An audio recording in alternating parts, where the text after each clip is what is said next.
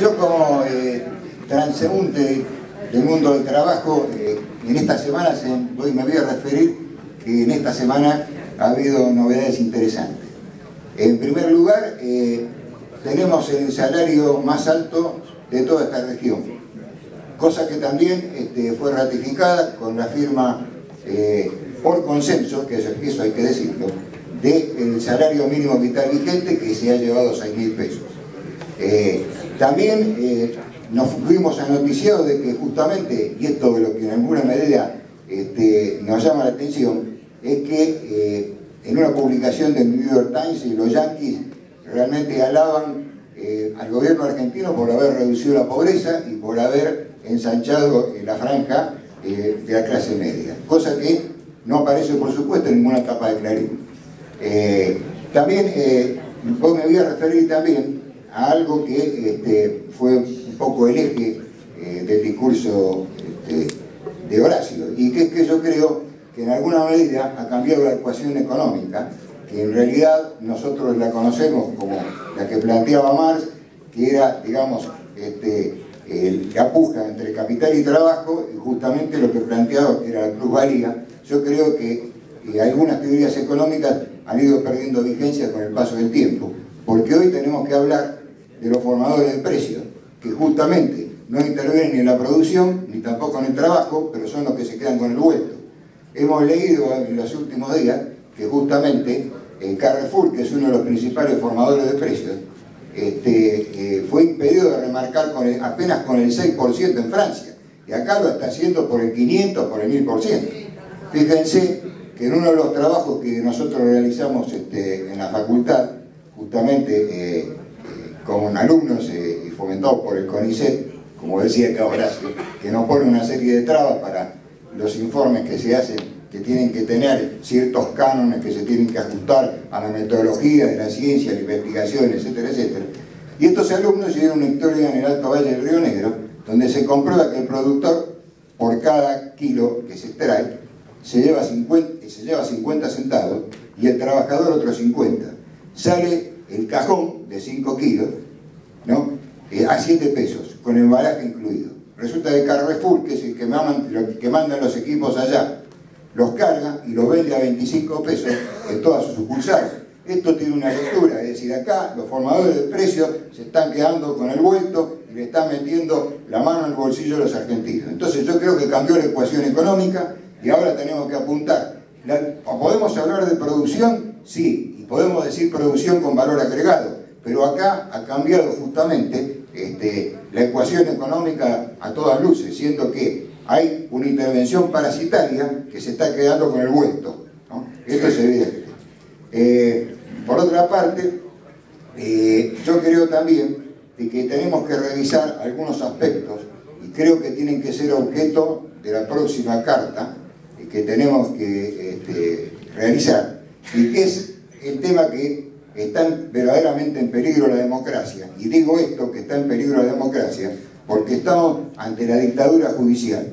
Cuando me refiero a dictadura judicial, yo no hablo más de partido, de partido judicial, como se suele hablar hoy, sino que estamos hablando de una verdadera dictadura judicial, porque los partidos van a elecciones y esto es una dictadura. Entonces creo que tenemos que intervenir eh, eh, en el tratamiento de este aspecto, porque en los últimos días hemos sido testigos de algunos fallos, de justamente de la dictadura judicial, desde el allanamiento a Otesur, con participación de la, policía de Macri, este, que justamente incluso salió fuera de, su jurisdicción y fue financiada con el, este, el logro de los porteños. Entonces, tenemos que decir que a eso también se agregó el allanamiento a la casa de Víctor Hugo, ¿no? y finalmente otro, de los aspectos que también no salió justamente en ningún medio porque, es que, porque justamente los afecta y que es, ¿no es cierto?, que se ha prorrogado por seis meses para que lo resuelva el próximo gobierno el tema justamente de, este, la prórroga del tratamiento de la adecuación a la ley de medios. Y acá tenemos el postre de la frutilla de todo este movimiento judicial se da justamente, y esto atenta directamente contra la libertad de los poderes, es que intervino la Suprema Corte de Justicia a través de sus tres miembros. Y digo tres miembros porque al cuarto no lo podemos contar porque está eh, como momia en el Museo Judicial. Entonces, no lo podemos contar evidentemente. Sacó una resolución ¿no? en la cual se impide a que Cablevisión concurra al Congreso para dar explicaciones de eh, las sumas que sacaron del país a través del HBC. Entonces, acá estamos, ante un poder, la dictadura judicial que quiere gobernar por encima de los otros poderes. Y creo que esto tiene que ser justamente de tratamiento en la próxima carta que nos, que nos toque justamente este, elaborar. Eh, también creo que se están dando algunas señales eh, en otro aspecto que realmente creo que son valiosas.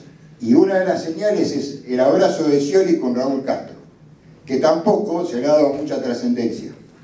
Y, este, y también creo que otro, otro de, los, de los símbolos que podemos tomar como caracterización del próximo gobierno son las actas de compromiso que firma Scioli con los distintos gobernadores, tal como lo hizo Néstor Kirchner. Entonces creo que no tenemos que, este, eh, tenemos que sumarnos a la campaña para que nuestro candidato, que es el candidato de Cristina, y que según acá varios compañeros que tomaron la palabra dijeron que lo iban a votar, se convierta en el vehículo que permita, a través de poder, de la continuidad de las políticas que se han venido construyendo a través de, este gobierno. Scioli es el candidato de Cristina.